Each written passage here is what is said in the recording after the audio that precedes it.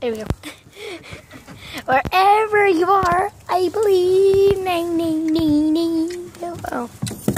Oh, he's I'll not never let go. Hold on, Jack. I got your mother pregnant. Get down there.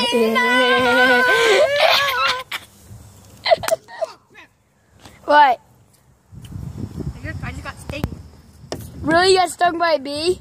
Oh. Oh, you got stung by the slide?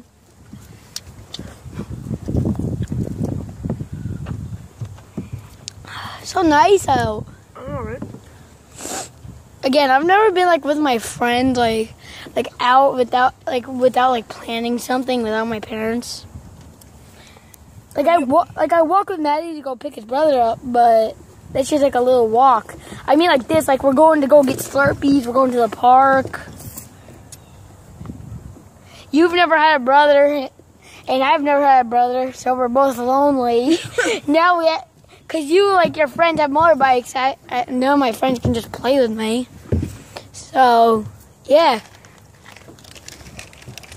So, Sebastian, are you a morning person? Yes or no? hell no. I hate morning. Anytime my mom turns on the lights, I go in the cupboard.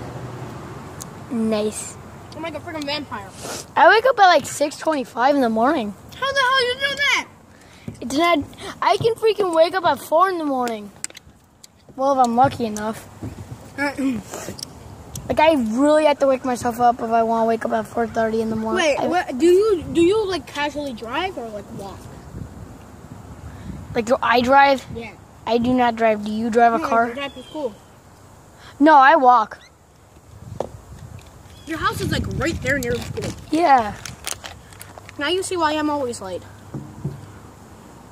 You wake up earlier.